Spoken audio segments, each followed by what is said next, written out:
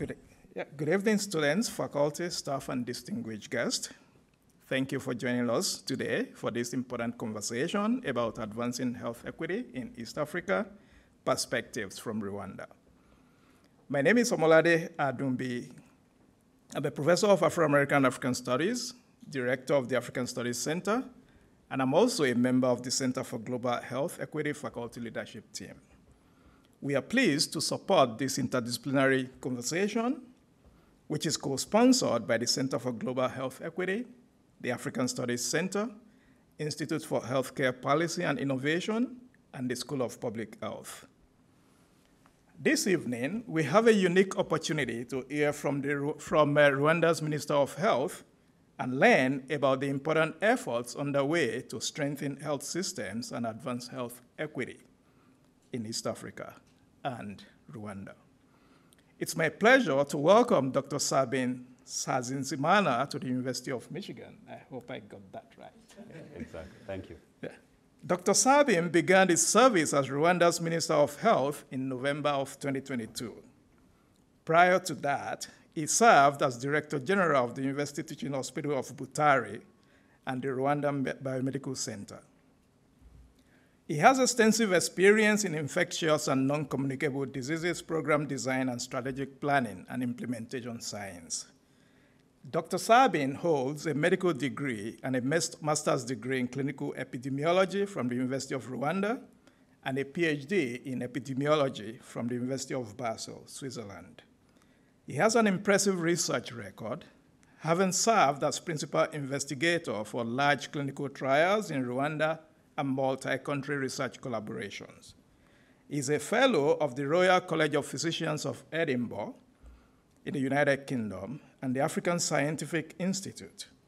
He serves as adjunct assistant professor of global health delivery at the University of Global Health Equity and also teaches clinical epidemiology and research methodology at the University of Rwanda. Please join me in welcoming to Ann Arbor the Honorable Minister Sabin from the Republic of Rwanda. Thank you. And joining in the conversation this evening is our colleague, Dr. Joe Kolars. Dr. Kolars is the director of our UM Center for Global Health Equity and a senior associate dean and professor of medicine. At the end of the conversation today, there will be a Q&A. Some of my colleagues here will be moving around with microphones when that time comes, and I'll moderate the Q&A. So with that, I'll turn it over to Joe to kick off the conversation. Thanks, everyone. Great. Thank you, Lottie. And welcome, uh, Minister Sabin. Um, it's great to have you here. Um, having somebody here from Africa, I was particularly self-conscious with the snow outside today. Um, but um, Minister Sabin said when a visitor comes and rain accompanies them, it is considered a blessing that they've brought something good yeah, to the area. So that was a, a great teaching point for me. I don't know what it means to bring snow with them, but uh, but uh, There's no snow. but it's it, it's probably uh, the same. Yeah. Um, but it's such a treat. Um, Minister Sabin got in um, late yesterday. Uh, we've been spending time um, and uh, comparing notes. I've learned that he comes from the western province of Rwanda. He's the son of a coffee farmer. So he grew up on coffee farms and has moved his way into the illustrious CV that you heard from Lade.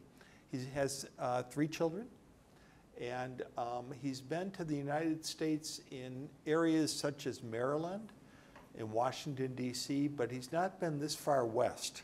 Um, this is his first trip to the University of Michigan.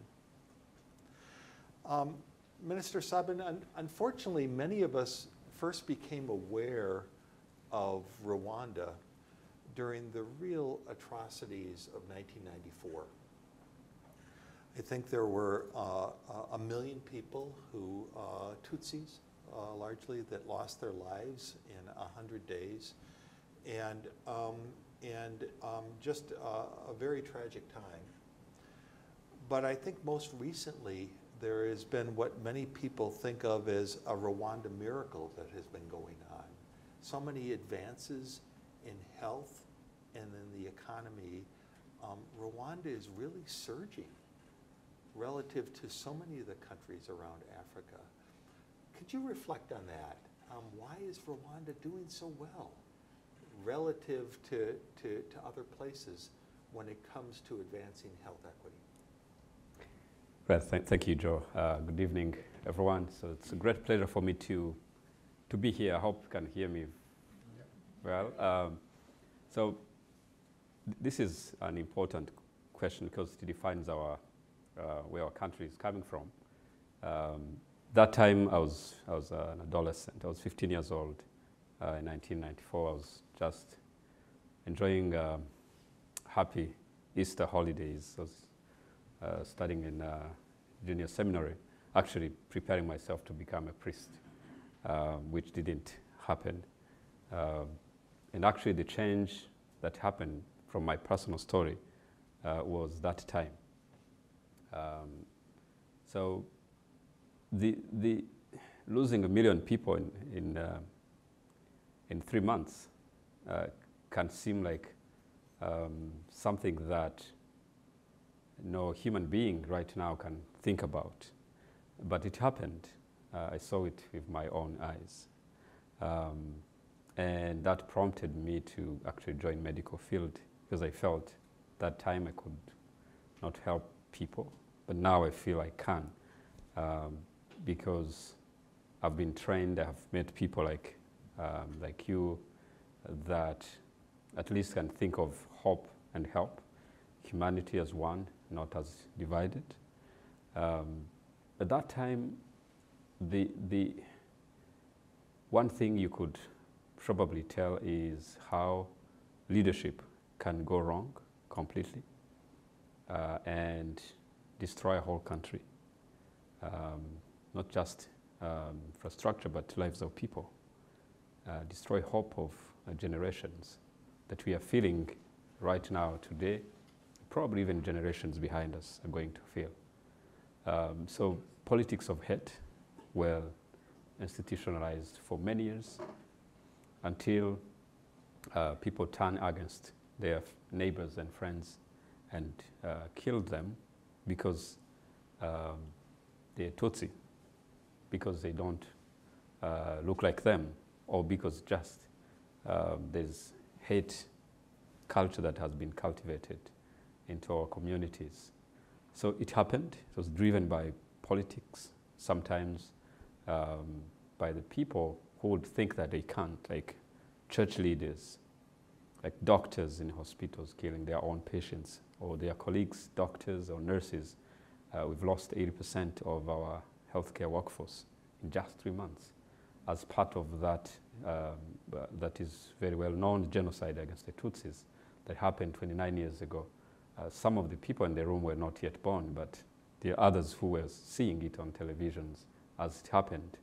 Um, so it's uh, a story of our, ourselves that we have to tell, but the most important thing is to learn from that and to do uh, what should have been done that time and prevent it to happen again because you look at the stories of uh, similar kind of trends across the world uh, are many. Um, hate, uh, people trying to, to uh, ignore the, the, the, right of living uh, to others, and yet you didn't ask the right to be here or to be born somewhere or to look like different. So that is a really a big um, task we have as, as humans, as leaders, um, as doctors, as specialists, as scientists, and, and this, as a university uh, environment, it's even a big task because in my country, uh, very few people have gone into university. Uh, but unfortunately, those who went to university also went, uh, participated in those, um, uh, um, in the genocide, uh, and they actually activated those who were not in school to do that uh, it's unfortunate and see how our teaching system also adapts to that. Um, are we teaching people those values of respecting life, um, of respecting each other? Uh, and that is one part of your question. The second part of your question is the hope, the, the, the story of rebuilding a nation and coming back as a broken nation. Our social tissues are completely destroyed, coming back to live together. Uh, didn't happen by, by miracle uh, or by chance. There are few people who stood up and fought for that. Um, and those sometimes they are fewer than those ones who are trying to destroy. Uh, but the courage that goes with uh, the few who want to do well uh, should prevail um, and must prevail always. That is what we've seen. Um, from an economy completely destroyed, a health system that was uh, completely down, uh, that 20% of healthcare workforce only remained when diseases have gone to the highest level of imaginations. Cholera outbreaks of the history of the last decades was happening at, the same time, both in Rwanda but also in neighboring countries where uh, about 4 million people fled uh, post-genocide when the, um, the RPF, um, led by our current president, uh, His Excellency Paul Kagame, uh, was leading a small army to fight the genocidal regime that uh, was finally, um, uh, actually the, the, the genocidal lost the, the, the, fight. There are millions of people, they have dragged in so many uh, groups of um, armed or unarmed genocidal with a military and uh, police that was four, five times more in numbers uh, with uh, the, the, RPF army that was trying to stop the genocide. So within three months, um, the, the genocide was already taking 75% of the Tutsis communities in, in Rwanda. Um, and also and everyone else was trying to, to oppose that. Uh, uh, so uh, my own story happened that I also found my way out of Rwanda uh, in what I call a miracle, uh, to be uh, in, in, in Congo for a few months and then to return back to Rwanda when the, the genocidal regime was completely, um, uh, they had fled the country. We went into different countries in East Africa, mainly in Congo, that time was called Zaire, in Burundi, in Tanzania, um, and they spread across other countries up to southern Africa. Um, and later on, it was not the end of, of the game because they continued to attack back into Rwanda and so many other lives were lost that time. So I joined medical school later on um, and I didn't expect myself to be um, in charge of the, uh, the whole sector, uh, health sector. Um, but this is something I'm very, uh, I would say, uh, is another personal miracle to be in, in a position because I was, I was supposed to not exist that time. I lost more than 90% of my family uh, during the genocide. Um, my father and my two sisters managed to escape. I lost my mother with my five siblings. And when we returned back, we created a new life, uh, trying to, uh, to live for ourselves, but for all others who we lost. But we made, uh, I would say, four choices that drove all of us as a nation forward. One is to be together. Uh, my president always said that we've been divided enough for the past history, let's be together. Um, there's no Tutsi, there's no Hutu, there's no Twa, there's no foreigner, there's no Muzungu, there's no white or yellow or black. We, we won. We are one. That's even Rwanda was open beyond abolishing the ethnic affiliations, but also opening to the world. So you can fly from any part of the world and get your visa at the airport. You enter Rwanda, you start your business. That is the openness that also helped us to think beyond small divisions that were driven by people with uh, bad intentions to divide, but to be together. Number two is to be accountable of what we do so that we keep respecting ourselves, our lives, and what we, we're supposed to do to build ourselves. And number three is to think big. Uh, sometimes you look at geographical size of our country, is the size of the state of Michigan. Um, but being a small geographical location doesn't limit ourselves to be citizen of the world and even beyond. So thinking in the universe context, not in a small context of our geographical locations. And number four is saving lives. So having lost a million, we committed to, uh, to something like no life will be lost again if we can save it. And that drives our sector, in health sector, that we can do our best to save a life, to prevent diseases, to treat, to care, and even support. That doesn't mean that people are not uh, losing their lives, but if we can, uh, we must do that. So that is where the courage of moving comes from. Um, we've come far. We're still working hard to keep our commitment forward, but uh, still have a lot to do as a country, as a nation. Um, last, last month, we got a life expectancy report uh, published from the census. 13 million people. Life expectancy is now 70, 70 years, 70. I think in the US is around 80. Um, expect in the next four years we'll be reaching 80 as a life expectancy. It's almost more than double of what we had during the time of genocide. So there is hope that we can do even better. And we appreciate uh, partnership. Michigan is our partner, so that's why we came here. Well, thank you, and we're, we're, we're so honored to be um, in partnership and, and learning with you. Um, you're the Minister of Health. You're at the top of the health sector. Uh, and again, there's so many good things going on in Rwanda to feel good about.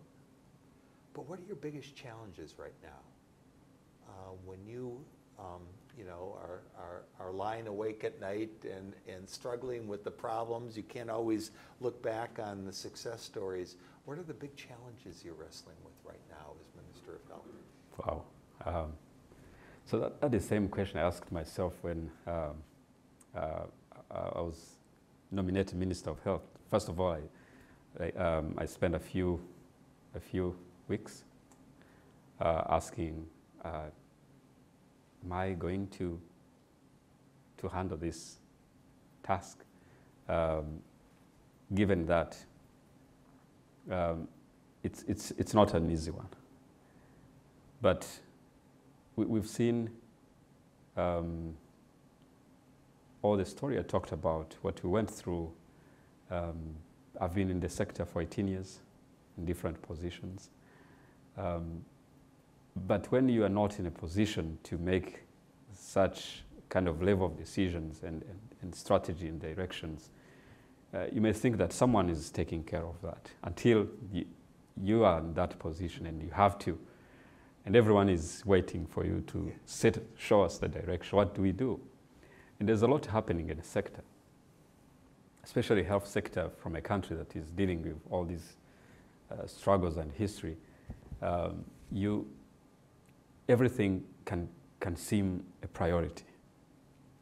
Everyone is bringing something malaria, TB, HIV, uh, food and drug regulatory programs, hospitals, everything is coming in your eyes as, as a priority.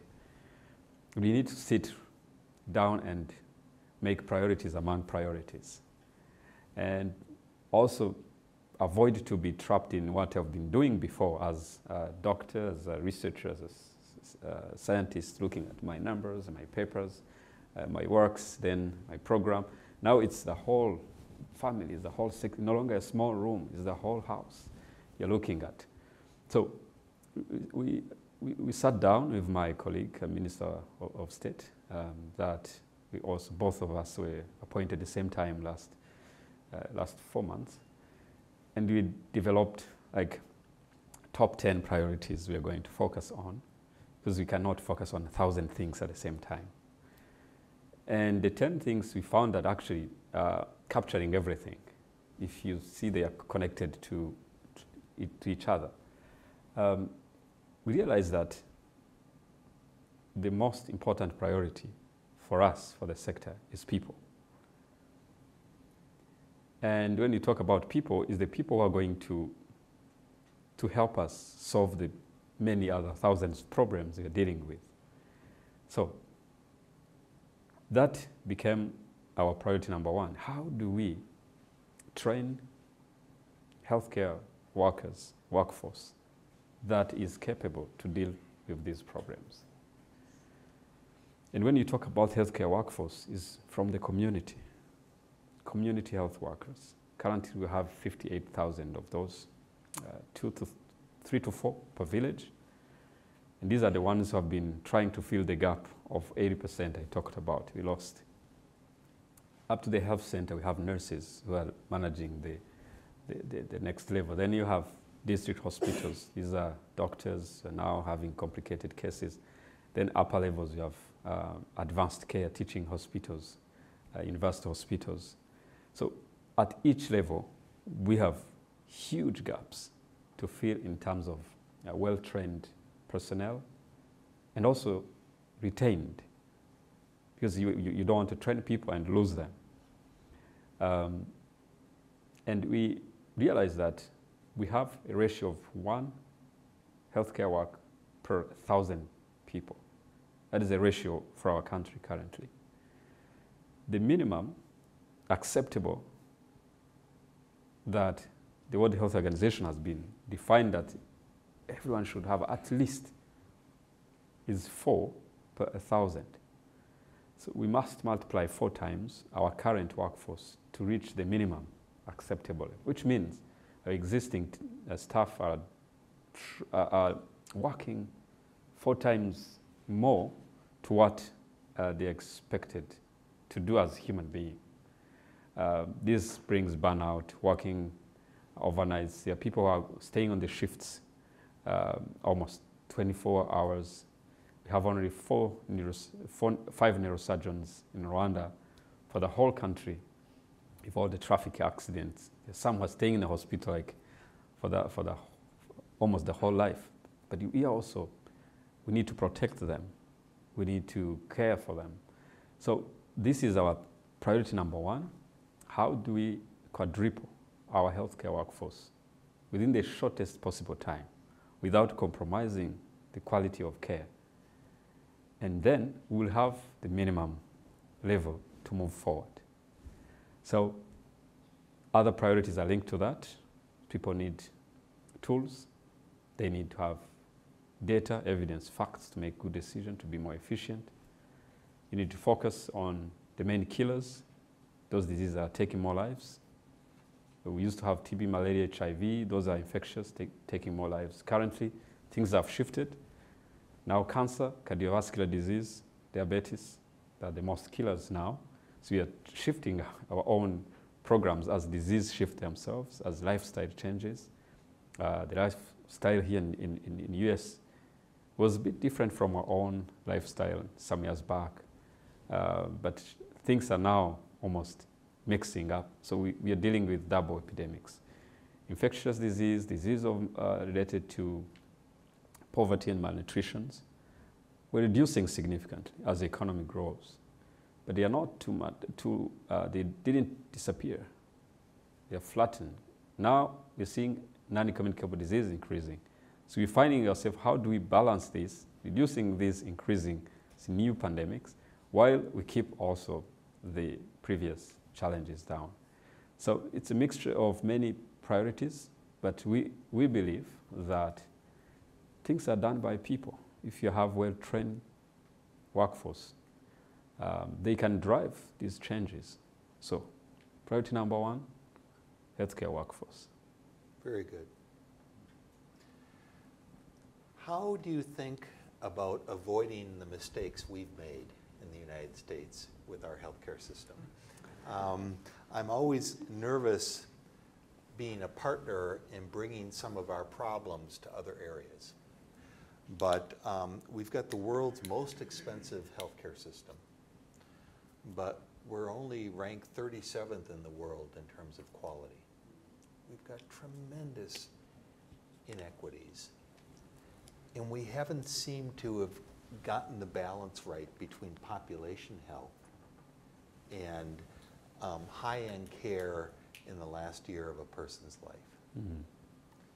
Um, how can you avoid those mistakes in terms of uh, that balance in the portfolio between population-based health, prevention, primary care, and really high-end, expensive care Mm. that maybe gets people a few more months of life? Wow. Um, I'm, I'm not calling it a mistake. Uh, I, I just remembered that I'm a Minister of Health representing a, a, a country, but uh, we're learning a lot from um, different healthcare programs across the world. There are things that we're learning from United States, uh, but also there are things that we're learning from elsewhere. But the, the point you, you're making is important. You don't need to have uh, to, to develop one part um, of a uh, system or, or, a sector and forget another part because it's a complete, it's like a human body. Uh, you don't want to have uh, legs and um, arms are not developed as the same as your legs and your head, you know. Uh, it has to, find, to be a balance between primary health care, uh, strong enough to detect prevent and manage diseases that don't need to go to upper levels, um, and that is more efficient um, than waiting until, if it's uh, high blood pressure, instead of coming it as a stroke at uh, and manage stroke at tertiary level, that is more expensive, less results, uh, more complex, and sometimes um, doesn't doesn't help any any any, any system. So I, I don't know much about the, the, healthcare system here, but what we are trying to, to do is de developing our, our tertiary healthcare system as we develop our primary healthcare system. Community health workers have managed diseases excellently, like malaria. 70% of malaria are treated by community health workers they managed to reduce malaria burden. Last five years, we're having more than 6 million, 5 to 6 million cases of malaria every year in Rwanda. In malaria, if you don't treat, you're likely to die in the next three days. Uh, so it was killing mothers, children, as every household would, would just record a case, especially children. So we, we had to decentralize malaria detection and treatment up to the household level.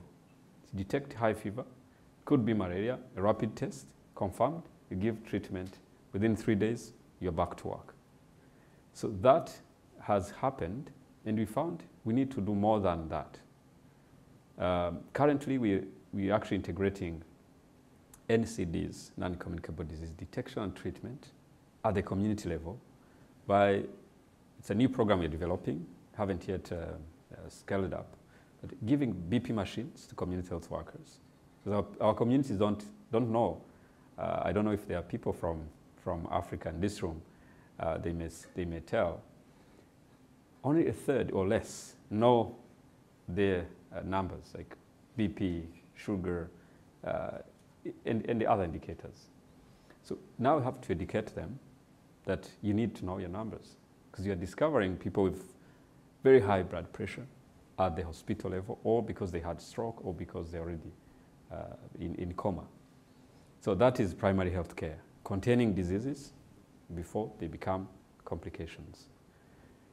85% of um, diseases are treated at health center level or below. That is our current numbers for us. So we, we want to raise it to 95%, so that 5% will be treated at hospital and university hospital levels. Those are advanced care, Those are uh, cardiac surgery, uh, renal transplant, um, and other advanced case management. And we are not forgetting that our history has left behind many other complications like mental health problems, um, like depressions, like uh, post-traumatic syndrome disorders and others. Those are also another heavy burden to our system that you don't want to wait it at a tertiary level, how to manage at community um, level uh, by training uh, psychiatrists, psychologists, and, and, and others. So um, we're learning from good experiences, um, but to me there's no, there's no bad experience in, in terms of learning. So you just pick uh, good things and then you build and you find a balance. Mm. Did I answer your question? I tried. And you're, so you're a minister of health. It was so politically smooth. You know, I was giving you an invitation to, to, to bash the United States, and uh, you didn't take the bait. Um, but, um, but I can say from the United States, the things that I'm learning from Rwanda is just the power and the promise of the community health workers. Yes. And um, these are individuals who are embedded in the community.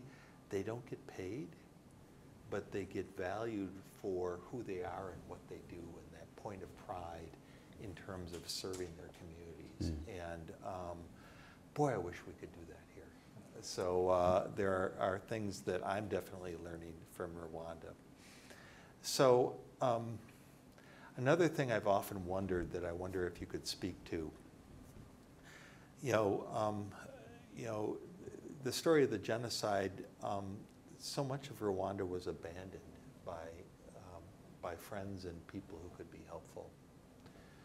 And I'm sorry to say we've just lived through another um, episode of that with COVID. Mm. Um, you know, we were um, very good at um, the, the privileged world, the high income world. We're very good at getting the vaccines and make sure that they got them first. And I felt so self conscious traveling through Africa, you know, with my third booster, when so many of the people didn't have a chance to have access to COVID vaccine. Again, I know Rwanda did so much better than other African countries. But how did that look through an equity lens? What was going on with the COVID vaccine and the privileged world versus other places that really um, you know, called to mind what is equity here when you've got a, a pandemic that is taking over the world? Great. Um, th thank you. Uh, I think it, it's, it's another good lesson that as humanity we need to, um, to learn from another tragedy. Um, the genocide against the Tutsis, as you rightly said, has been um, has happened when the, the, the, leaders of the world said never again uh, uh, after um, the, the uh, other genocide that previously happened for Jews and, and others. Um, but unfortunately, it happened, and it happened with the United Nations uh, presence, army presence in my country. Uh, I didn't tell the whole stories, but I'm sure most of people in the room have read about the story um, where the United Nations Army abandoned people um, live to the killers um, in, in, the capital of Kigali just a few years back. So COVID came um, almost 25 years after. The country was rebuilding itself. We're trying our best. Uh, but it took us a little bit behind.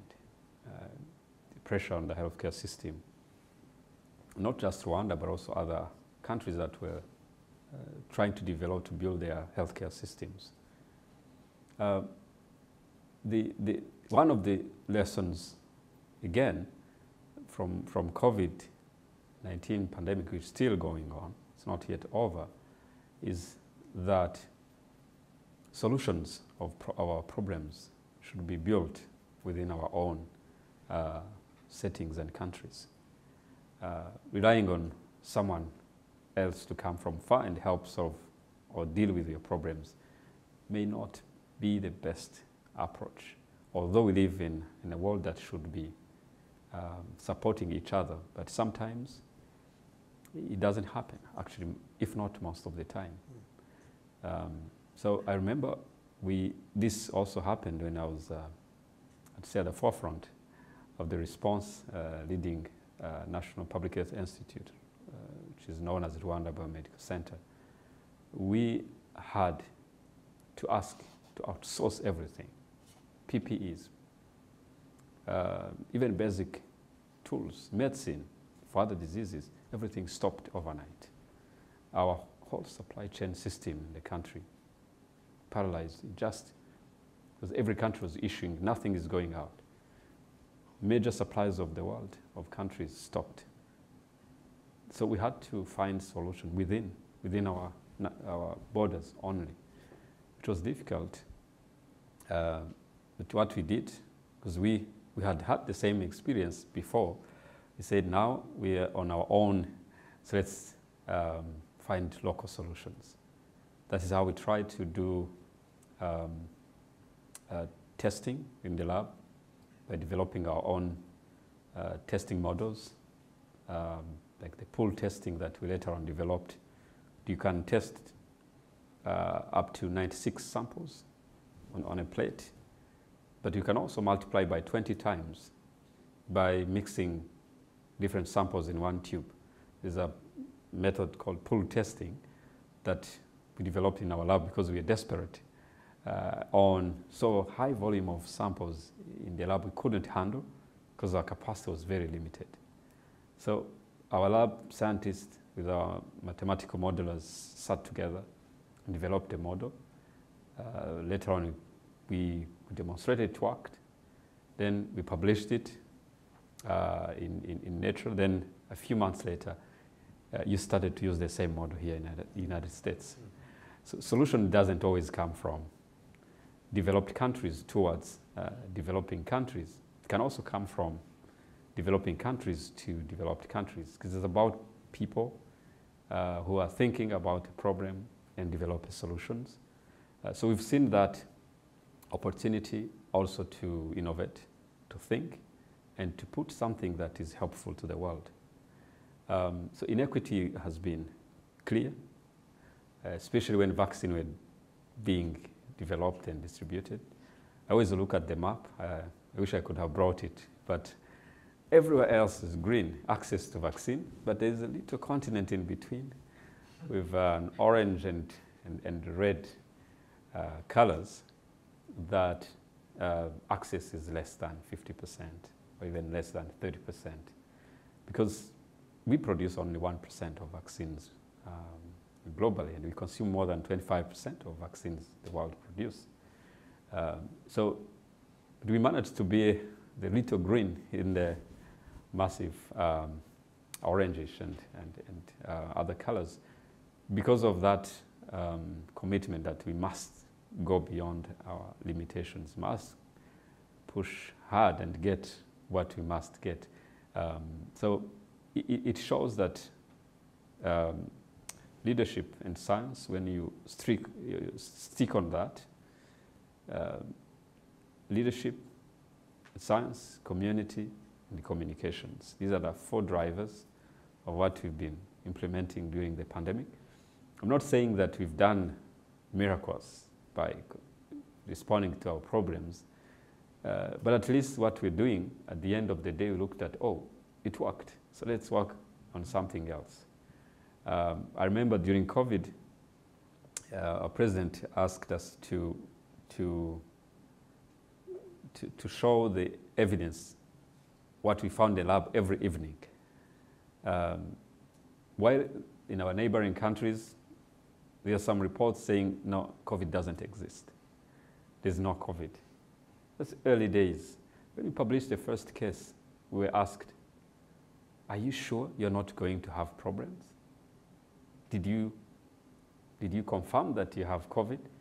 COVID is going to stop everything for you. Uh, tourists, uh, travelers will be banned and, you know. So that beliefs that when you show a problem, when you're transparent, transparent with science and facts, becomes a problem to yourself, happened to us earlier before we even see uh, uh, Omicron variants when southern countries in, in, in, Africa reported the case, then no one wants to fly there after. But for us, it was a way of saying, okay, this is what we saw, how do we deal with the problem? So it's always good to see uh, political leadership trusting in science. When the opposite happens, you always go wrong. So we're lucky to have that link where the, the president asks, what did you, what does science tell about what we are dealing with? And you're very proud as scientists to go out and say, oh, nice graph, statistics, this is where we are. What should we do? We do lockdown for two weeks, then we see, then we collect data, then we see. That is the life we went through. Uh, of course, lockdown was not very popular to many people. That brings the other aspect of how do you tell the community the science in a way they have to understand it. Um, if you say, okay, um, uh, reproduction number, uh, p-values, they not understand. But you have to tell them, we've tested 100 people, 20 are positive, we must stop a little bit until we get less than five. If we are less than five, we open, and we open, we trust. If you get above, you tell them, have you seen that? We are above 20.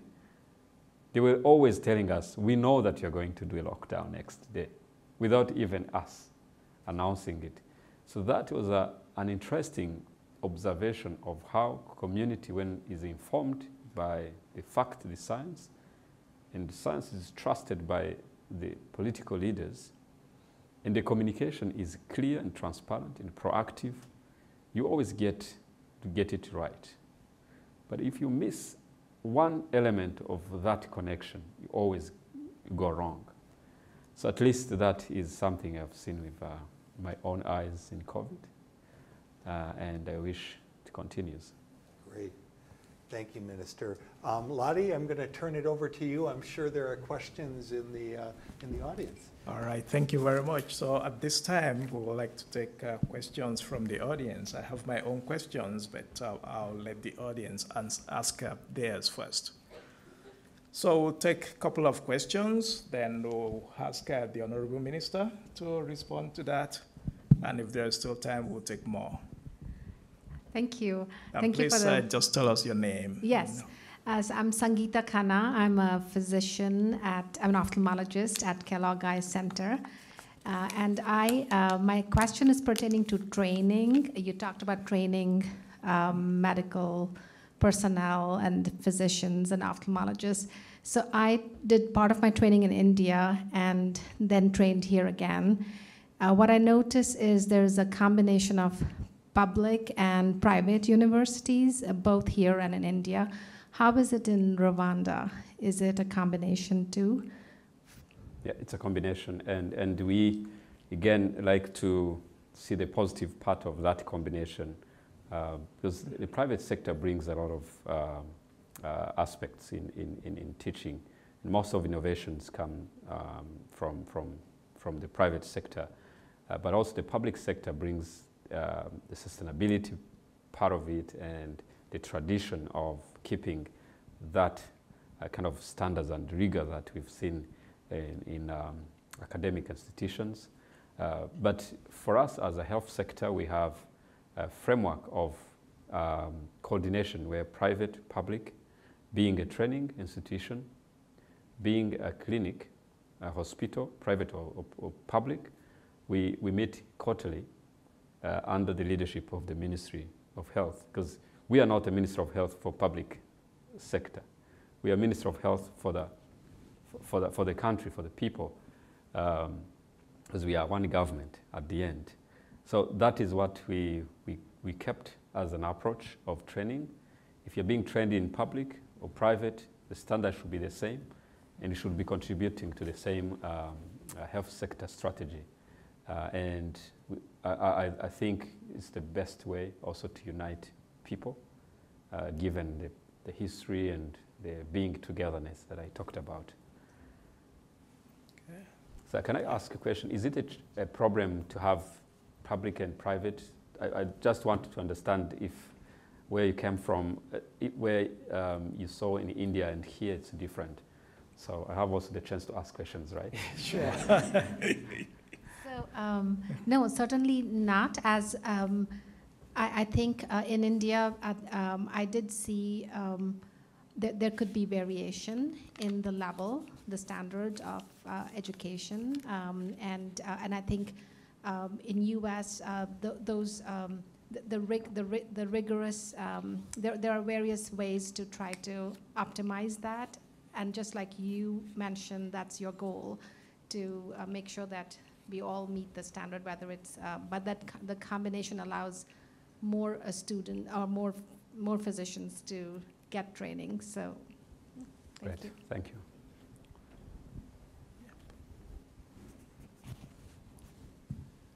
Uh, Christian Davenport, Public Policy, Political Science.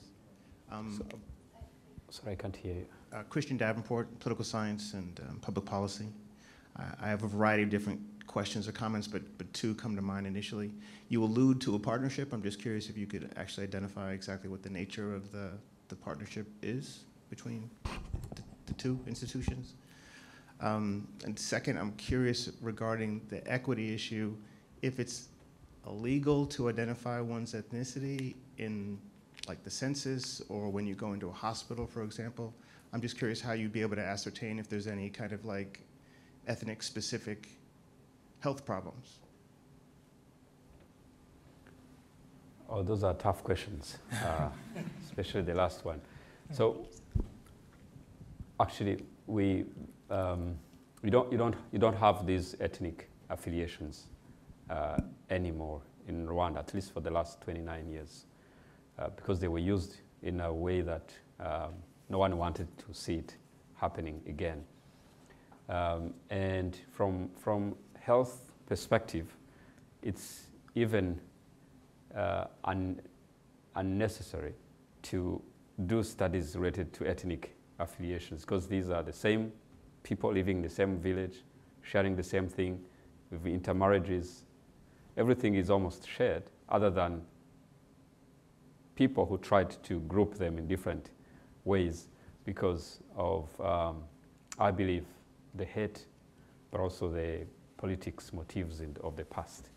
So that, for us, in a health research perspective, we don't see that, and even anyone doing research in, um, in the health sector, um, a, few tried to, to, to, uh, to look into that in the past, but there was no such uh, a difference that should be uh, included in uh, research projects currently. Um, your first question about partnerships. Um, I think the partnerships has been one of the key drivers of the last three decades in, in the progress we've made. Um, and the first thing has been finding the right partners. You share the, the same values and the, uh, the motive to achieve and move forward. Um, it doesn't, it didn't happen always the way we, you, you, you think it could be. Um, I remember in my early uh, area, um, uh, when I joined the career, uh, that around 2005, we had 200 partners in HIV program only. And of 200 partners that, that time, we had 150 patients receiving antiretrovirals. So each patient has an organization, a partner, taking care of him or her. And all of them were in Kigali, the capital of Rwanda.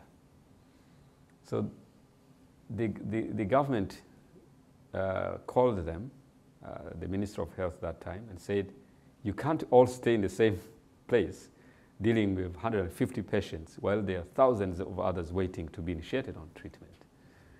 Then they started to assign them different places. And of 200, 25 decided to leave because they didn't want to, to go outside Kigali or to enroll new patients because they had their own agenda and programs. So that is the time we started to do one strategy, one plan, one evaluation, and then partners come to plug in instead of each partner bringing a plan uh, for implementing the way uh, they want. Imagine sitting here in Michigan, developing a strategy to improve the health sector in Rwanda without us involved in without even knowing what problems we have back home. So that happened many, many times. So today, we're very proud and happy to have partners who are coming and sit with us and say, what are your priorities? Like your, your, your question you asked. Uh, and there, you can go and sit down based on your priorities. I think we can help you or work with you in this field. So this is the partnership we, we, we're having now. And we want to do more partnerships with the University of Michigan. The whole day we've done a marathon of meetings, um, trying to identify areas where we can work with you. And I believe that it's not my last time coming here because we'll be coming to see how the partnership are evolving. And also you all invite you to, to come to Rwanda uh, with you. You've, you've been to Rwanda before. Uh, you, you're welcome back Thank you. soon and bring all of them so we can do things. Okay, we've got time for maybe one more question.